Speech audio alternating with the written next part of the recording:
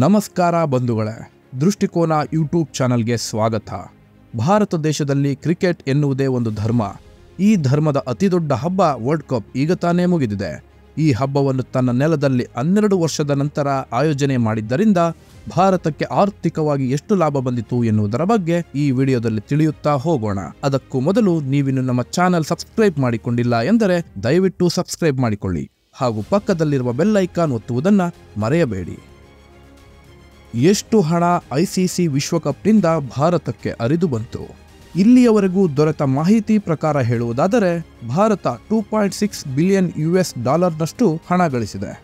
ಇದನ್ನು ಭಾರತದ ರೂಪಾಯಿಯಲ್ಲಿ ನೋಡುವುದಾದರೆ, ಸುಮಾರು ಇಪ್ಪತ್ತೆರಡು ಸಾವಿರ ಕೋಟಿ ರೂಪಾಯಿಗೂ ಅಧಿಕ. ಈ ಹಣ ಹಲವಾರು ಮೂಲಗಳಿಂದ ಬಂದು ಸೇರಿದೆ. ಅವುಗಳನ್ನು ಒಂದೊಂದಾಗಿ ನೋಡುತ್ತಾ ಹೋಗೋಣ. ಟಿವಿ ರೈಟ್ಸ್, ಅತಿ ಹೆಚ್ಚು ಆದಾಯದ ಮೂಲ. ಸುಮಾರು ಹನ್ನೆರಡು ಸಾವಿರ ಕೋಟಿ ರೂಪಾಯಿ.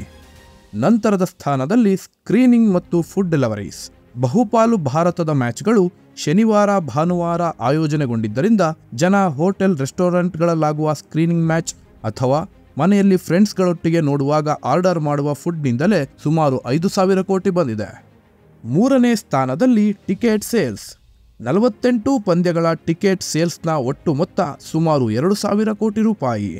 ಇದೆಲ್ಲದರ ಜೊತೆಗೆ ವಿದೇಶದಿಂದ ಬರುವ ಕ್ರಿಕೆಟ್ ಪ್ರೇಮಿಗಳು ಕೇವಲ ಪಂದ್ಯವನ್ನಷ್ಟೇ ನೋಡಿ ಹಿಂದಿರುಗುವುದಿಲ್ಲ. ಭಾರತದ ಸ್ಪೆಷಲ್ ಪ್ಲೇಸ್ಗಳನ್ನು ಸಹ ವಿಸಿಟ್ ಮಾಡುತ್ತಾರೆ. ಅಲ್ಲದೆ ಇದು ನವೆಂಬರ್, ಡಿಸೆಂಬರ್ ತಿಂಗಳಾಗಿರುವುದರಿಂದ ಟೂರಿಸಂ ಸೀಸನ್ ಆಗಿದೆ.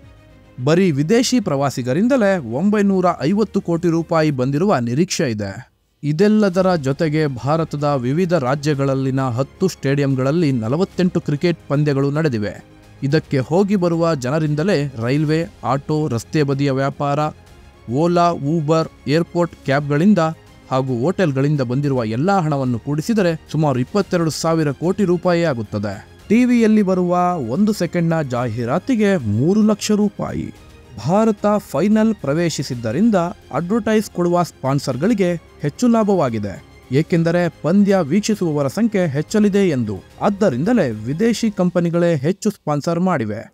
ಟಿವಿಯಲ್ಲಿ ತೋರಿಸುವ ಹತ್ತು ಸೆಕೆಂಡ್ನ ಒಂದು ಅಡ್ವರ್ಟೈಸ್ಗೆ ಕೇವಲ ಒಂದು ಬಾರಿ ತೋರಿಸಲು ಮೂವತ್ತು ಲಕ್ಷ ರೂಪಾಯಿ ಕೊಡಬೇಕಾಗುತ್ತದೆ. ಅಂದರೆ ಒಂದು ಸೆಕೆಂಡ್ಗೆ ಮೂರು ಲಕ್ಷ ಕೊಡಬೇಕಾಗುತ್ತದೆ. ಇದು ಕೇವಲ ಒಂದು ಬಾರಿ ತೋರಿಸಲು ಮಾತ್ರ. ಇದು ಲಾಸ್ಟ್ ವರ್ಲ್ಡ್ ಕಪ್ಗಿಂತ ನಲವತ್ತು ಪರ್ಸೆಂಟ್ ಅಧಿಕ.